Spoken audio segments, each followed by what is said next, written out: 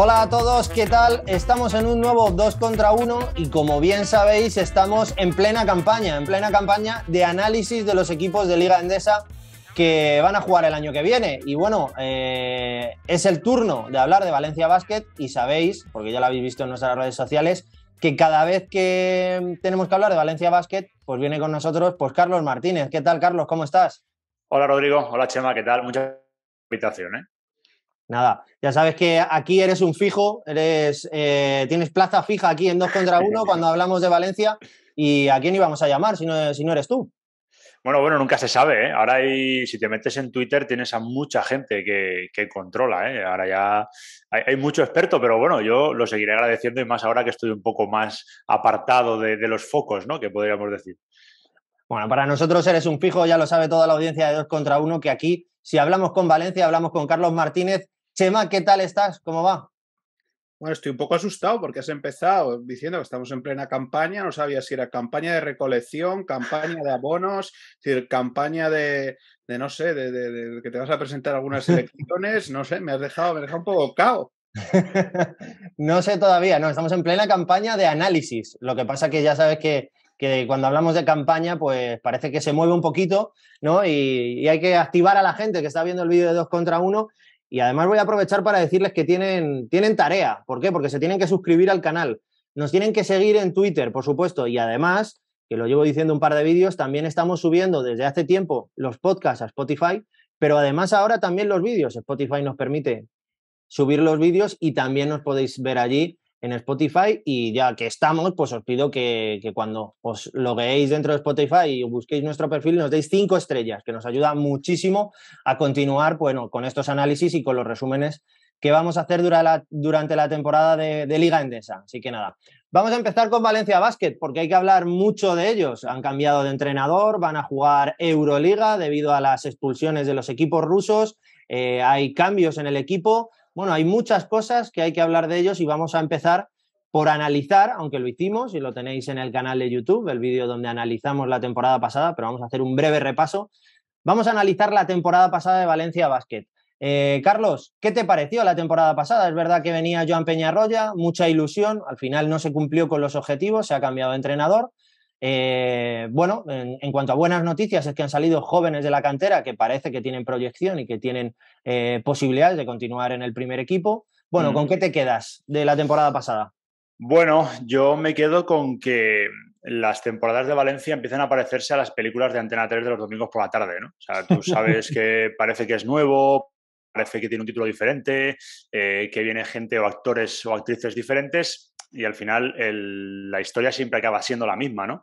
Eh, nosotros en el canal acabamos la temporada con mi famosa foto esta así y, yo creo que eso refleja lo que es la, temporada, que empezó con mucha ilusión, porque, bueno, pues eh, sobre todo por, por, el cambio de entrenador, con la llegada de Peñarroya, creo que más por la salida de Ponsarnau que por la llegada de Peñarroya en sí, Em, y al final, pues bueno, se vio un equipo que creía mucho su entrenador, pero que al final, con tantas lesiones, el equipo decidió, bueno, la, dirección, ¿no? Liderada en este caso por, por el mecenazgo de Juan Roche, decidió no incorporar a nadie, fue una situación de desgaste, la gente cada vez estaba más cabreada, poca afluencia, llegas a la copa con mucha ilusión, eh, te cruzas contra un equipo inferior con todos los repetos que encima venía con la COVID, que venía cansado y de repente te arrolla, eh, te pasa lo mismo en playoff, tu entrenador firma un contrato eh, con el rival que te elimina en primera ronda después de una temporada terrible de Vasconia. En fin, para mí fue, fue un fracaso y sí que es verdad que, bueno, pues te puedes quedar pues yo te diría que con, el papel de Jasiel Rivero, te quedas con, con Guillén Fernando, con Millán Jiménez, pero al final son jugadores que salen por obligación, no por apuesta, ¿no? Eso yo creo que es lo, lo más complicado de este tema y sobre todo que también acaba la temporada con la lesión de Martin Hermanson, que pues bueno, fue, fue un palo, pero bueno, eh, fuera de ese palo emocional, para mí fue un fracaso de temporada y que puso el final a otro proyecto cortoplacista. Sema, la verdad es que el resumen que ha hecho Carlos es muy claro. Se juntaron pues muchas desgracias, muchas lesiones y es verdad que durante la temporada hablábamos de que Valencia fue uno de los mejores equipos visitantes durante la Liga Endesa, pero es verdad que les faltó fuelle, que, al final las lesiones de Prepelic y de Hermanson justo al finalizar la temporada pues también les, les pasaron factura y bueno, empieza otro proyecto con Alex Mumbrú. Sí, sobre todo dos lesiones que se juntaron en un momento en el que no tienes margen de maniobra, ¿no? Porque en la Eurocup no tenías posibilidad de, fichar sustituto para Prepelic y luego pues la de Germanson que se produjo cuando se produjo, ¿no? Es decir, eso también es un problema. Si bien es cierto es que se, se apostó, ¿no? Por, eh, por la alquería y, bueno, pues ese probablemente, esa probablemente fuera la mejor de las noticias, ¿no? Los, los, los Guillem Ferrando, eh, los Millán Jiménez, ¿no? Pues, pues estos eh, jugadores que, que, fueron capaces de dar la cara eh, por el equipo durante toda la temporada, ¿no? Y de demostrar que, que podían aportar. Bueno, Ahora creo que la historia es, distinta, que el, que el proyecto eh, tiene que dar un paso adelante porque la competición al margen de la liga andesa en la que va a luchar es una Euroliga muy difícil, eh, muy complicada y, bueno, esa es la, esa es la realidad, que, creo que, que, ha habido que dar una vuelta de tuerca e intentar hacer pues una plantilla eh, pues yo creo que, con mayores garantías para tratar de, luchar en, dos competiciones que son, que son muy exigentes. Solo, puntualizar, solo puntualizar Rodrigo, eh, a Chema, que cuando se lesiona Prepelic sí que está en tiempo de, incorporar a un juego para la Eurocup, lo que pasa es que se esperan entonces ya cuando fichan a Hanlan, ya entran fuera de plazo, que esto es otra cosa también que la gente no terminó de entender, porque dices, hombre, si vas todo, pones todos los huevos en la Eurocup y no fichas, pero bueno, eso ya es simplemente por puntualizar, tampoco me quiero meter yo mucho la temporada pasada porque estamos en agosto y es tiempo de intentar buscar la felicidad. bueno, lo que te iba a comentar, Carlos, es, habiendo conocido ya el contexto del año pasado, se han hecho, pues, eh, estoy contando aquí, cinco altas y, seis bajas, contando la del entrenador. Eh, ahora vamos a pasar a, repasar cada uno de los fichajes, las altas y las bajas, pero hmm. así a bote pronto le estoy preguntando a todos los invitados, ¿a priori te parece mejor equipo el del año pasado o el de este? Es una buena pregunta porque creo que están parejos. A mí no me parece que, Valencia haya dado un paso al frente con, el cambio, ni, en el banquillo, aunque a mí Mumbrú me gusta mucho, eh, mm, pero creo que no da un paso al frente en el banquillo, creo que no da un paso al frente en el juego interior, creo que no da un paso al frente en el juego exterior. Em, ¿Es quizás un equipo más compensado? Puede ser, puede ser. Vamos a ver un poco el, guion que, dibuja Mumbrú. Pero a mí me parece, em, ahora mismo, a día de hoy, eh, una plantilla insuficiente, diría insuficiente para eh, el reto de competir, como decía Chema, en la ACB y en la Euroliga, también en la Copa, ¿no? Que luego llega enero y aquí todo el mundo dice que la Copa es el título favorito de Boyan Dulevich y del club y que no se gana desde el 98 y es una competición muy exigente y que a Valencia no se le está dando bien. Entonces yo creo que ahora mismo eh, es una plantilla insuficiente, sobre todo, bueno, para mí en todas las parcelas, pero, pero te diría que a mí me deja un sabor de boca no te diría que agridulce, pero por ahí irían los tiros. Me ha dejado un poco fría la, plantilla de Valencia de, este año. Chema, eh, a Carlos le parece insuficiente. Eh, estamos hablando de una plantilla que va a tener que jugar Liga Endesa, con los objetivos que normalmente se va a plantear para un equipo como Valencia Basket, que por supuesto se le va a pedir que juegue la Copa del Rey y que este año además va a jugar Euroliga. ¿A ti te parece una plantilla para jugar esas previsiblemente tres competiciones? Bueno, a ver, por partes, yo creo eh, que hay que diferenciar de los cuatro fichajes, que creo que, ahora repasaremos. Para mí hay uno que, es un jugador ya sólido en, la Euroliga, pero que en cambio no ha jugado en, las competiciones domésticas españolas, y los otros, eh, otros dos de los tres restantes tienen ya experiencia en, la, en la Liga Endesa, y el último jugador, Jonas Radevo, viene a hacerlo bien en, la Basketball Champions League, eso sí viene de un ecosistema pues algo particular como es el de Ludwigsburg, ¿no? Un club que ficha bases escoltas muy interesantes como Yaline Smith, como eh, Carrington, a los que luego les ha costado un poquito fuera de ese ecosistema eh, rendir. Lo bueno es que Radevo pues, está teniendo la experiencia de, jugar con la selección de Montenegro y de salir un poco de ese entorno bueno, mm, creo que mientras Chris Jones es el jugador que tiene que dar la solidez y el empaque y la experiencia sobre todo, porque también a nivel de edad la, tiene, ¿no? Los otros tres jugadores son jugadores que tienen que aportar el, hambre y son tres apuestas interesantes. Evidentemente, luego tendrán que demostrar el nivel que son capaces de, de, dar, pero, pero a ver, creo que las apuestas están claras, la calidad, la calidad técnica también, y, y, hay que ver, hay que ver, pero, pero, también recordemos que este Valencia Basket pues tiene un bloque bastante hecho. Sí, Martin Hermanson está lesionado, pero eh, los Van Rossum, los Prepelic, al que ya hemos visto jugar con la selección de Eslovenia después de la, la lesión, eh, Clavero o López Aroste, que para mí también tienen que subir un peldaño sus prestaciones esta temporada.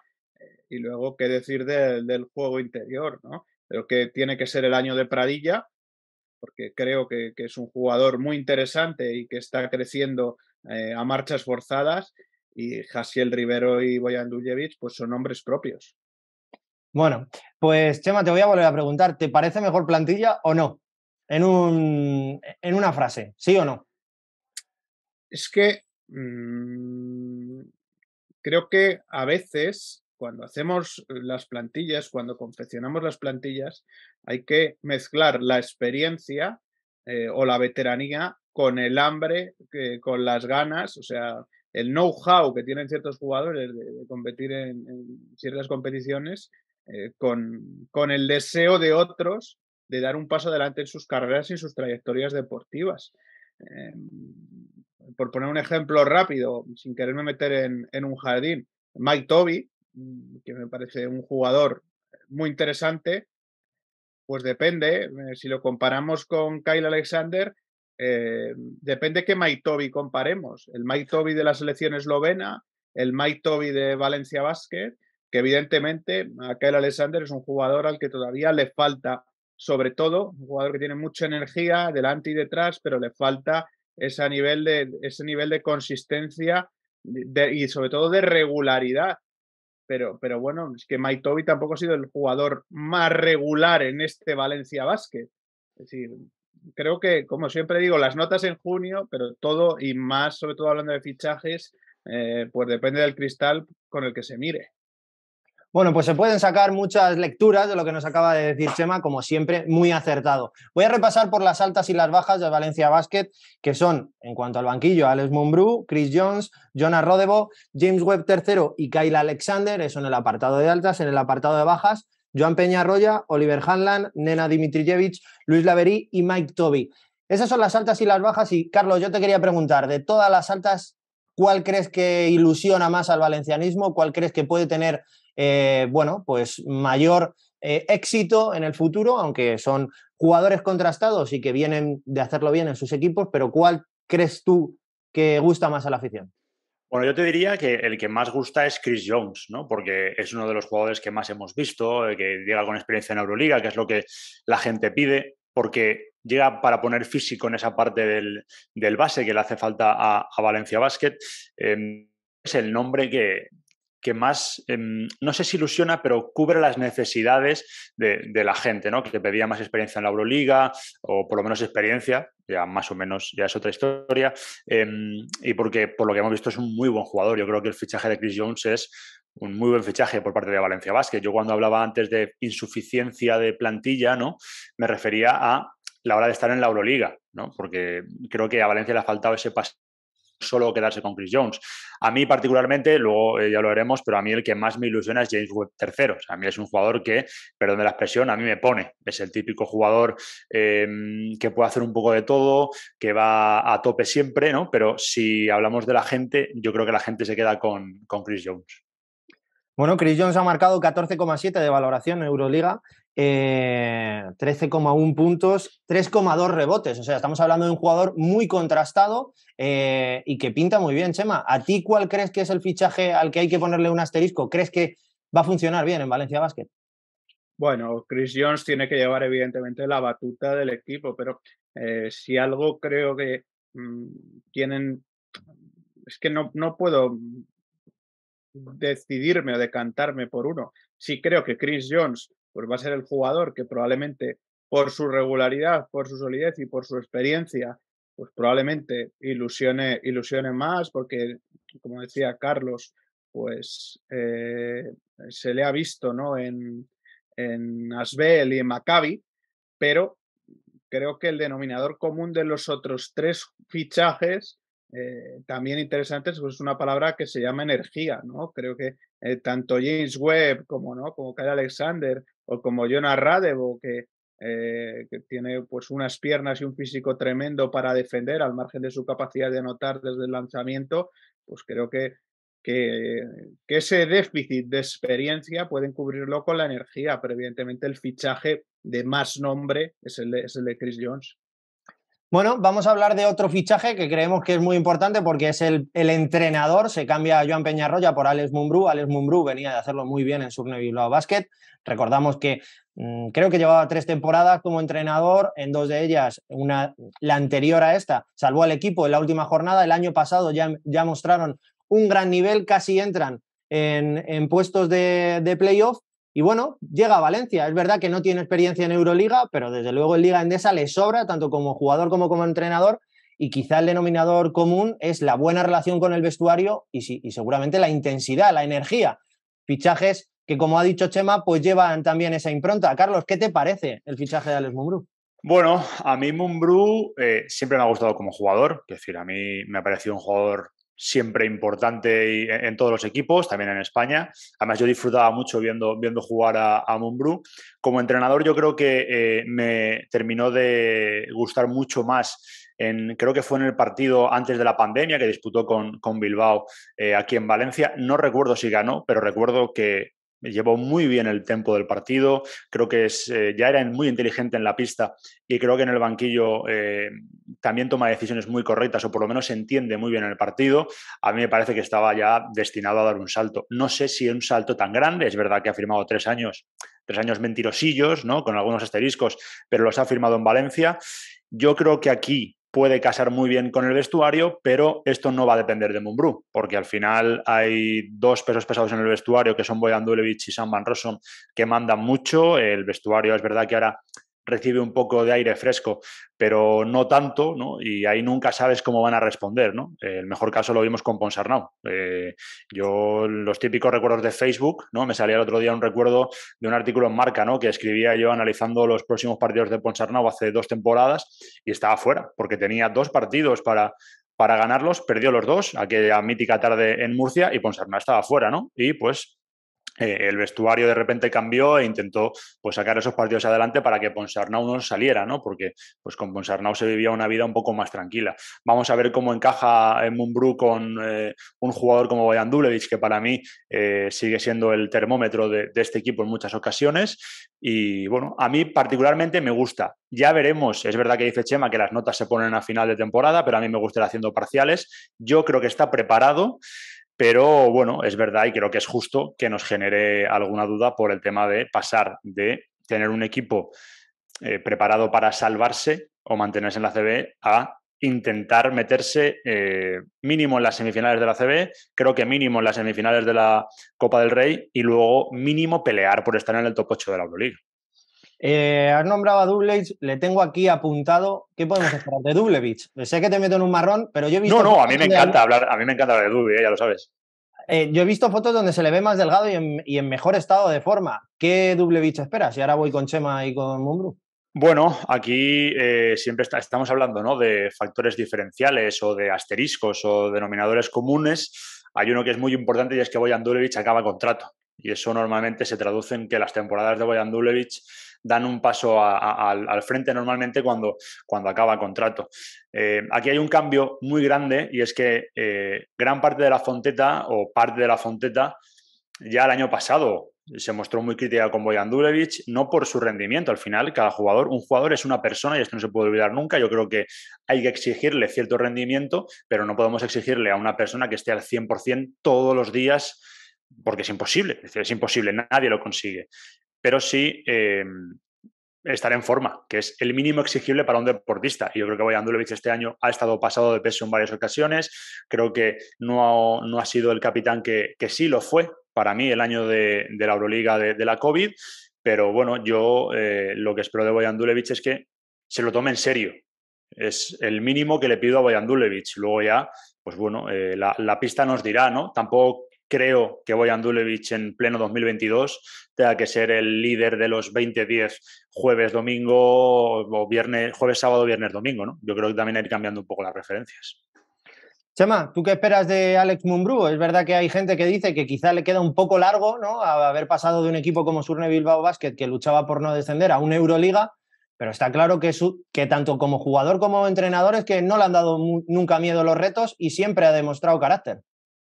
Bueno, yo creo que es un técnico inteligente, ¿no? Y creo que, va a ser capaz de, asumir el reto. Creo que probablemente el, primer escollo será lidiar con un ecosistema distinto al que ha tenido en Bilbao, ¿no? Eh, a nivel, a nivel de club, a nivel de medios, un poco todo, ¿no? Todo eso. Pero bueno, creo que hay que recordar que eh, Alex es una persona que, como decías, eh, pues ha liderado transiciones muy rápidamente. Pasó de jugar a comandar un equipo en la Liga LEB buscando un ascenso, ¿no? Y, después de ese ascenso llegó y lo metió en, la Copa del Rey a las primeras de cambio con un bloque bastante marcado de, la segunda categoría del baloncesto español.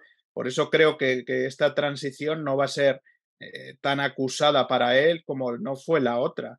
Creo que, va a ser capaz de adaptarse y, bueno, y, de, trabajar eh, para llevar este Valencia Basket al máximo nivel de competitividad en una competición que le es nueva para él como, como es la Euroliga. Eh, de, la Liga Endesa no hace falta que hablemos mucho, ¿no? Es un año difícil, eh, el, que se salvaron en la última jornada, casi hicieron lo más complicado, que es reconstruir un equipo y, salvarse en el último partido. Eso no es nada fácil y mantener la confianza de un club, ¿no? En las, eh, porque en las duras es muy fácil, pero en las maduras es mucho más complicado. Bueno, y este año, pues hemos visto ya esta pasada temporada esa grandísima racha eh, de victorias después de empezar también la temporada mal. Eh, pero luego estuvieron en una zona bastante tranquila y pelearon por el playoff. Creo que lo que sí hay que dotar a, a Alex de esa tranquilidad y de esa confianza para que pueda hacer su trabajo. Bueno, un Valencia Basket que, como hemos, como hemos dicho durante todo el programa, va a jugar Euroliga, aparte de, por supuesto, la Liga Endesa. Y aunque Carlos ya ha dejado por ahí un poquito cuáles son los objetivos, pero se lo quiero volver a preguntar, ¿cuáles son los objetivos reales de este Valencia Basket con esta plantilla y sabiendo que es la primera temporada de Alex Mumbrú? Bueno, eh, el tema de los objetivos aquí, yo mm, sí que es verdad que las suelo coger con pinzas, ¿no? Porque siempre siempre que habla un director general, sea José Puentes o sea Enrique Arbonell, se habla de ir al fin, a, la final de todos los títulos, ¿no? Pelear por levantar todos los títulos. Yo creo que eso es irreal, porque la propia gestión te dice que ese es nuestro objetivo y creo que tu propia historia te dice que ese es nuestro objetivo, al menos de momento. Yo creo que el objetivo tiene que ser, para mí, con la plantilla actual, eh, estar cerca de los eh, puestos de acceso al playoff de la Euroliga. Yo creo que estar entre los ocho primeros, creo que te lo mereces eh, tenerte como objetivo, estar cerca, ya veremos, porque creo que pedirle a esta plantilla que se meta entre los ocho mejores es para mí exagerado, creo que tiene que estar cerca de, esa posición, hablo de realidades, ¿eh? no de lo que yo crea en relación a la entidad.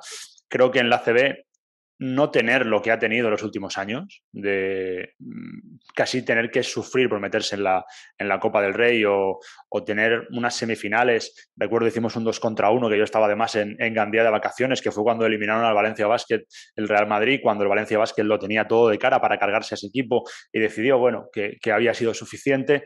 Creo que es, ha llegado la hora de, de demostrar que es uno de los grandes en la CB y de que ya había llegado a mirar los ojos a Vasconia, que eso es muy difícil, y Valencia Vázquez para mí lo había conseguido, y en la Copa del Rey, pues es que no sé decir el objetivo. En la Copa del Rey yo te diré que será eliminar al primero que te toque, porque últimamente es algo que, no se le da muy bien a Valencia Basket. Así que yo creo que, ese es un poco el, camino que tiene que marcarse este, este equipo. Yo creo que a entidad, a nivel entidad, si Valencia hubiera querido dar un pasito más, sí que se le debería haber exigido estar entre los ocho primeros de la Euroliga, como creo que se le debería de haber exigido cuando firmó a los Kalinich y Derrick Williams, y tampoco se le hizo. Pero bueno, vamos a ver, ¿no? Yo creo que esa es la realidad que tiene, eh, por lo menos en esta fecha de agosto, el, Valencia Basket de, de Alex Mumbrú. Chema, Carlos, sin pelos en la lengua, ha hecho eh, un análisis bien claro de los objetivos de, Valencia Basket. Lo tienes difícil, Chema, a ver si lo superas. ¿Cuál crees que son los objetivos del equipo de Alex Mumbrú? bueno, al margen de competir en, cada partido y contra todos los equipos, eh, creo que, bueno, que, en Euroliga, como ha dicho Carlos, probablemente el objetivo sea mm, sin una obligación total de estar entre los ocho primeros, sí competir por estar en ese, en ese top 8. Y luego, pues creo que tanto en Liga Endesa como en, vamos, que en Liga Endesa lo que tiene que hacer es estar en los puestos de privilegio. ¿Qué son los puestos de privilegio? Pues yo creo eh, que entre el cuarto y el octavo sin apreturas para clasificarse, ¿no? Eh, para la Copa del Rey, para los playoffs. Luego también es verdad que jugando dos competiciones con dos fases regulares tan largas y de, y de tanto nivel y de tanta exigencia, pues eh, te, marca, ¿no? Pero creo que la palabra tiene que ser un poco regularidad, ¿no? no los dientes de sierra que vivimos en la última temporada en la que este equipo disputó la Euroliga y cuando estaba muy bien en una competición estaba muy mal en la otra. Creo que la palabra tiene que ser consistencia y que si el equipo logra esa consistencia, pues sea regular en, en las dos competiciones que disputa, en la continental y en la doméstica.